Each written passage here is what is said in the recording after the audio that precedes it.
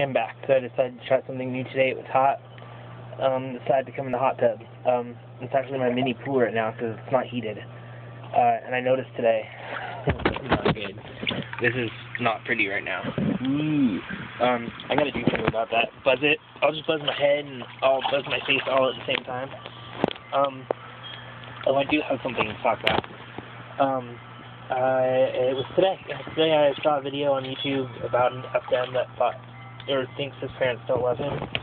Um, and you guys need to understand that your parents are going through transition too, just like you are. Um, if you had a kid that happened to be born a girl and changed into a boy, you might have some issues dealing with that. And you got to understand it's hard for them too, just like it's hard for you. Um, we need to be stronger though, because we're the ones going, technically going through more, but they're they're not losing a child. My mom described it as kind of losing a daughter and gaining a son all at once. Um, she knows I haven't changed, and she's actually described me as same person I was before, just cut my hair and change my name. Um, look a little more mannish now. Um, but your parents are always going to love you. They're just going through a rough time actually, um, in the video, the kid was writing on cards, and and it, it said that his mom called him a stupid fuck after he tried to commit suicide. Well, I got a story to tell you. I was probably 19 years old. I was going out of my head. That was about like right when I was starting to come out. I didn't know what to do. I had no like hopes of transitioning and blah blah blah. I was totally insane.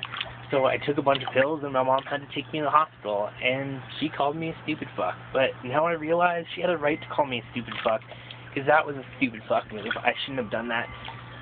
Um, my parents would fight and argue with me all the time about me transitioning, and I thought they they didn't love me and didn't care for me and didn't understand. No, it's not. They do care for you. They just don't know how to express it right now. They're expressing it through their fears for you.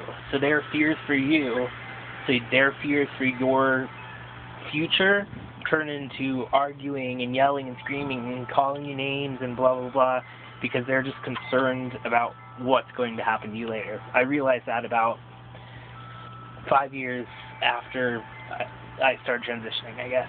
So about five years ago, I figured that out. Um, my mom, it took her about two years before she started calling me him and Nick and all my nice pronouns and stuff. Um, actually, we were at the grocery store, and she screamed Michelle from a couple aisles away, and it was like right down the middle, like you know where the um where you check out. So I was down that aisle, and everybody like looked down the aisle, and I was the only one standing there, and they looked back at my mom like she was fucking nuts. Um, so she realized that she needed to call me him, he, and Nick right away, because she was crazy. Um, I guess that's good for me, kind of embarrassing for her. Uh, my father took about three, four, five years. I don't remember. He finally, um, he finally accepted me uh, before he passed away. That was about two years ago.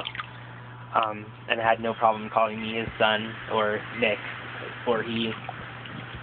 Um, and another thing I was gonna say is that uh, I know people do the it gets better videos. You know what?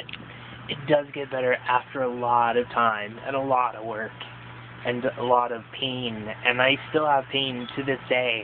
Like, I don't know how to deal with some of the stuff I'm going through now, but you learn to deal with stuff. You learn to deal with your feelings, and you learn to deal with this, and you learn to deal with that, and it makes you a better, stronger, more compassionate person, actually. You become such a better person, it's not even funny. I was such an asshole when I was younger.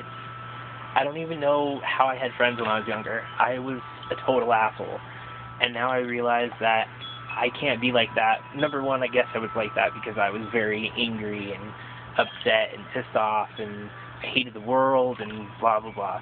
But um after I started transitioning, I realized, hey, I'm acting like an asshole. I can't do that. It's because I started to learn how to deal with my pain. And you're going to always have pain in your life. And I think everybody always has pain in their life. We just have a little bit more intense pain about who we are compared to other people. Um, but you're going to learn to deal with it. I love therapy. Actually, video blogging is great, I feel. I get a little bit of therapy when I do a video blog. Um, no, I'm not. I'm not gonna pay you guys to watch my videos. Um, but all in all, you become a stronger person, a better person. You start learning to deal with your pain. But in the beginning, it's really, really hard. It's very, very hard. But just hang in there and do the best you can and get help when you need help. There's nothing wrong with saying that you need help. So if you need help dealing with your stuff, seek out help.